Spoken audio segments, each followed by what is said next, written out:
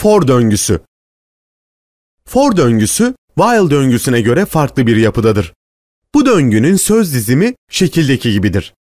İlk ifade döngünün en başında bir kereliğine koşulsuz olarak çalıştırılır. Bu başlangıç ifadesidir.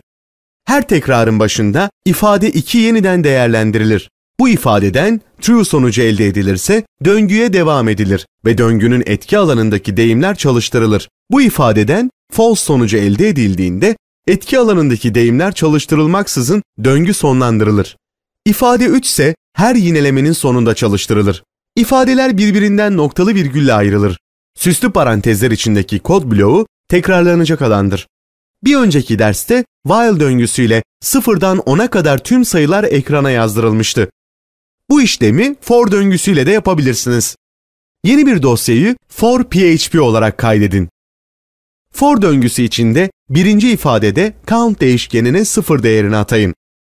İkinci ifadede count değişkeninin ondan küçük veya eşit olacağı şartı yazın. Üçüncü ifade ise artım işleminin kaçar kaçar olacağını belirtmek için kullanılır. Burada count değişkenini bir arttırın. Süslü parantezler içinde echo komutuyla count değişkenini ekrana yazdırın. While örneğindeki gibi count değişkenini arttırmaya gerek yoktur. Çünkü bu işlem for döngüsü içinde yapılmaktadır. Dosyayı kaydedip tarayıcıda görüntülediğinizde sıfırdan 10'a kadar sayıların ekranda yazıldığını görebilirsiniz.